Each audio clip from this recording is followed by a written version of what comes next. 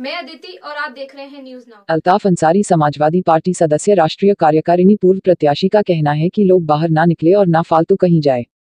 और उन्होंने यह भी कहा कि कोरोना वायरस हमारे पूरे देश में महामारी की तरह फैल रही है, इसको हमें हराना है और जब कोई ज़रूरत हो तभी घर से बाहर निकले या बिना फालतू का बाहर ना निकले। और एक दूसरे के पास एक मीटर की दूरी बना कर रहा है और वहाँ पर ज़्यादा भीड़ ना लगाए, ना एक दूसरे के पास रहे, आप सब घरों में रहे हैं। और उन्होंने यह भी कहा कि जब घर से बाहर निकले हैं तो मास्क लगाकर अवश्य बाहर निकले क्योंकि आपकी सेफ्टी आपकी भलाई है।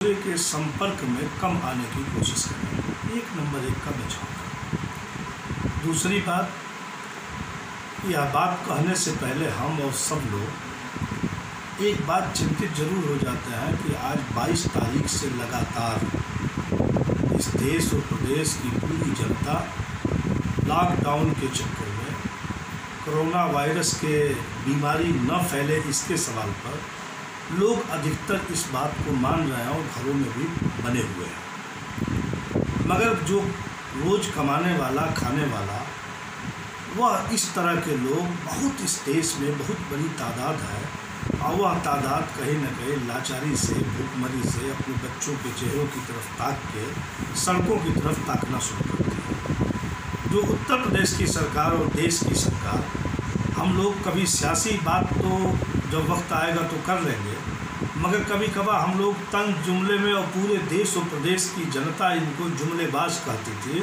आज वह जुमला कहीं ना कहीं दूर और नज़दीक से देखने को मिल रहा है। टीवी पे आ रहा है कि आप घरों में बैठे रहिए, आपकी सारी सामग्री आपके घरों में पहुँच जाएगी। आप भी घूम रहे हो, हम भी घूम रहे हैं, आपको दिखाई देता होगा।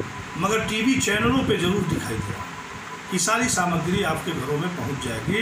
आज लोग दूध के लिए, गैस के लिए और कहीं ना कहीं रोज़ की जो ज़रूरत की चीज़ें हैं, सब्ज़ी है, तेल है, दाल है, चावल है, साबुन है, जो रोज़ सुबह सब कमाता था, शाम को खाता था, वह व्यक्ति कहीं परेशान होकर सड़कों पर घूमने की कोशिश कर रहा है, कोई जानकर या शौकिया घूमने की कोशिश नहीं कर रहा।